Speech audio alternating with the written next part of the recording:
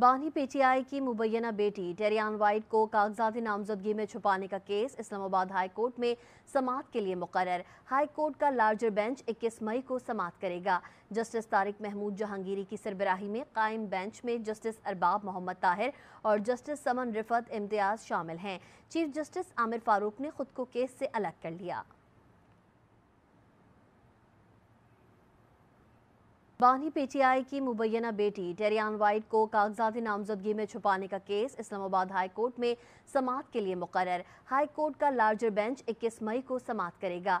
Justice Tariq Mahmood Jahangiri की सरबराही में कायम बेंच में जस्टिस अरबाब मोहम्मद ताहिर और जस्टिस समन रिफत इम्तियाज़ शामिल हैं। चीफ जस्टिस आमिर फारूक ने खुद को केस से अलग कर लिया।